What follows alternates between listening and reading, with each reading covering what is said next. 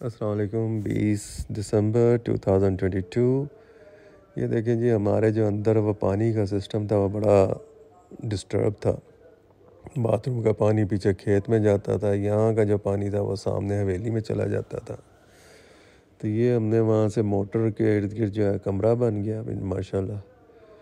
और बाकी हमने कंसील्ड बड़े पाइप लगा के सीवरेज के, वो हमने बाहर ले जा के सीधा जो है ना वो सूअर में पानी डाला है।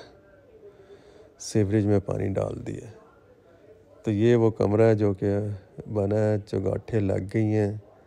ये जब हम ऊपर लेंटर वगैरह डालेंगे तो ये साइड वाली दीवार भी गिरा देंगे। ये खुरली भी तैयार है, माशाल्लाह। और नीचे वो भी हो गया हुआ सीमेंट भी हो गया हुआ और फर्श भी बन गया हुआ है।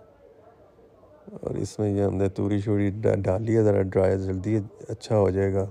उसके बाद अच्छा ये पाइप जो हम जी अंदर से ये बाहर लेकर आए हैं जी पाइप।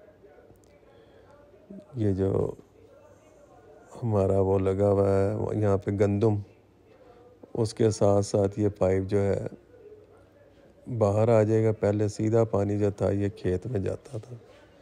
उसकी वजह से वहाँ पे यानी कोई फ़सल भी अच्छी नहीं हो रही थी। तो ये पाइप जो है इस तरह यहाँ से बाहर निकलेगा और फिर ये सीधा उधर एक सीवरेज पाइप है, उस कैंडल चला जाएगा। ये सीमेंट वगैरह हो रहा है जी इस दीवार के लिए। ये जो साइड पे दीवार थी वो भी कंप्लीट हो गई है, बिल्कुल राइट साइड कॉर्नर वाली दीवार। वो भी कंप्लीट हो गई है।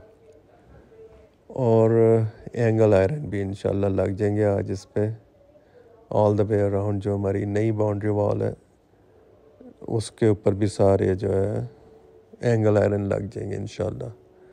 जब कभी कमरा बनाना होगा तो ये वाली साइड वाली दीवार तोड़ देंगे और ऊपर छत डल जाएगी। अच्छा जी, ये टोके वाली जगह के भी सोलिंग हो गई है। और इसके ऊपर सीमेंट लग जाएगा तो ये हमारा एक सिस्टम भी ठीक हो जाएगा।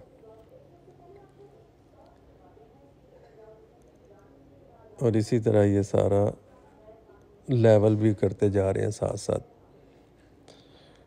तो उम्मीद है कि सिस्टम ठीक हो जाएगा इन कुछ ही एक एक या दो दिनों में सारे काम कंप्लीट हो जाएँगे इन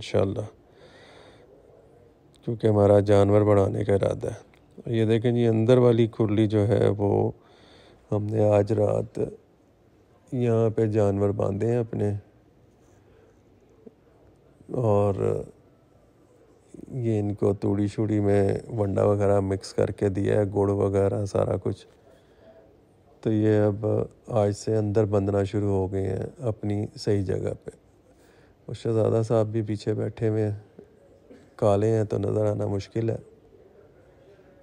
और ये हमारी मलका जो है, ये भी अंदर है, माशाल्लाह। अब खुली में ये खाना पीना इनका चलता रहेगा। अच्छा आज हमने वो गंदम वाले जो दोनों खेत हैं, उनमें पानी भी लगाया। तो आज सारी मेंगनियाँ जो थी, इसमें डाल दी थी। और ये इस तरह ये पानी बाहर आया। और ये जनाब इसी तरह चैनल बना के हमने खेत में डाल दिया।